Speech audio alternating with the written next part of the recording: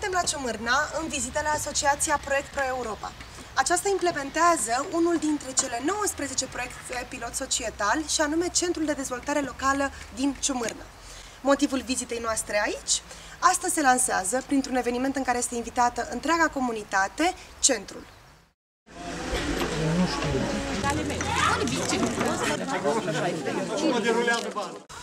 Proiectul a constat în amenajarea unui spațiu în care tinerii și copiii din comunitate să-și poată petrece timpul liber, în mod creativ.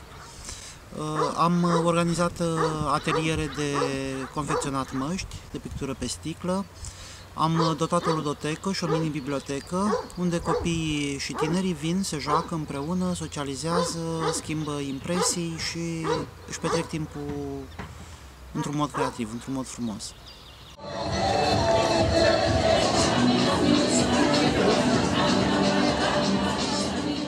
Tinerii din uh, asociație sunt din mediul rural, uh, categorie cu oportunități reduse, dar de asemenea avem un parteneriat uh, rodnic cu așezământul de copii Sfântul Leontie de la Rădăuți. Prin activitatea pe care părintele o desfășoară împreună cu doamna preoteasă, cu soția lui, cu copiii au reușit într-adevăr să aducă lumină și în sufletul copiilor de la așezământul Sfântul Ierarh Leontie de la Rădăuți.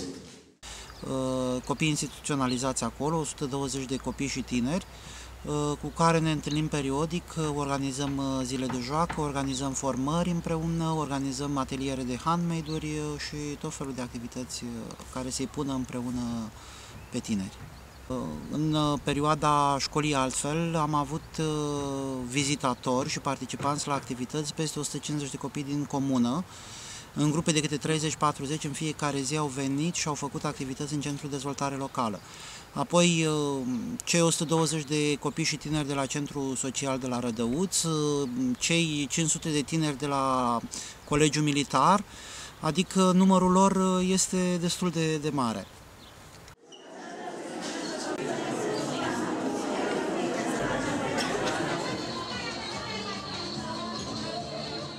Sunt Emilian Ceredev și sunt de la Colegiul Militar Liceal Ștefan cel Mare, Câmpul Moldovenesc. Sunt Alina Maria Arvinte și sunt de la Colegiul Militar Liceal Ștefan cel Mare din Câmpul Moldovenesc. Numele meu este Ana Maria Ioniță și sunt în clasa 10 la Colegiul Militar Liceal Ștefan cel Mare.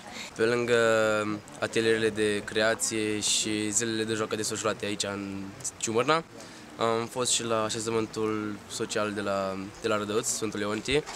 Acolo am desfășurat la fel zile de joacă cu copii aflați în nevoi speciale. Ne-am jucat cu ei la ateliere de creație. Și de asemenea am făcut și un curs de formare, un curs de uh, metode de educație non-formală. Tot acolo la așezământ. Unde am învățat mai mult despre non-formal.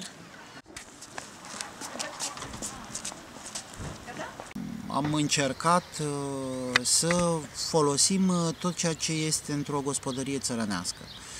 Uh, de la pânza de sac uh, pe care am uh, reciclat-o și am făcut poșetuțe pentru domnișoare, blănuri și piei de animale cu care am confecționat măști, materiale textile de la bunica, de la străbunica care acum nu mai țese. Mâncarea, în cea mai mare parte, este procurată de la gospodinele din sat.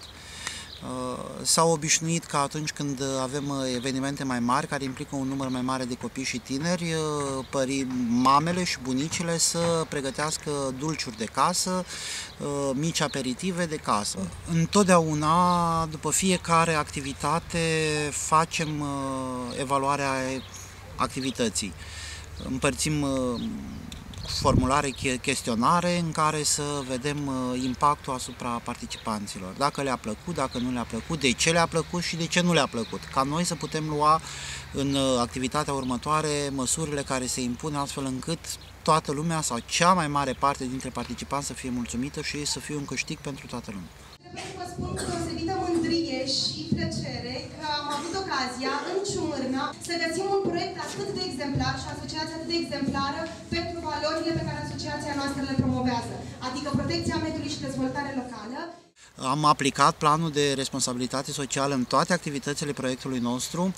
Uh, mai mult decât atât, concepte pe care le-am învățat de la voi, de la Societal, uh, le-am um, propus și pentru alte proiecte pe care le-am um, inițiat și pentru care am primit finanțare. Țin în mână o piatră pe care am lipit un șervețel, apoi am dat-o cu lac și aici am pictat pe lemn. Vasul l-am pictat cu acoarele. Clasa a 6 Am pictat un vaz de ceramică. Am făcut o roșie. Clasa 8 am pictat uh, o față zâmbitoare, de culori mai, uh, mai vesele, precum sunt și eu. O mască din ceramică. O poșetuță lucrată de mine. Cu multă dragoste. Am lucrat la poșetuța asta timp de 3 ore. Am colorat cu apă.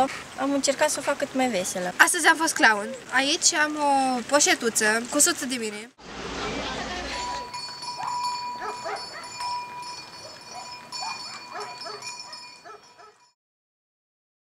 Proiect cofinanțat din Fondul Social European prin Programul Operațional Sectorial Dezvoltarea Resurselor Umane.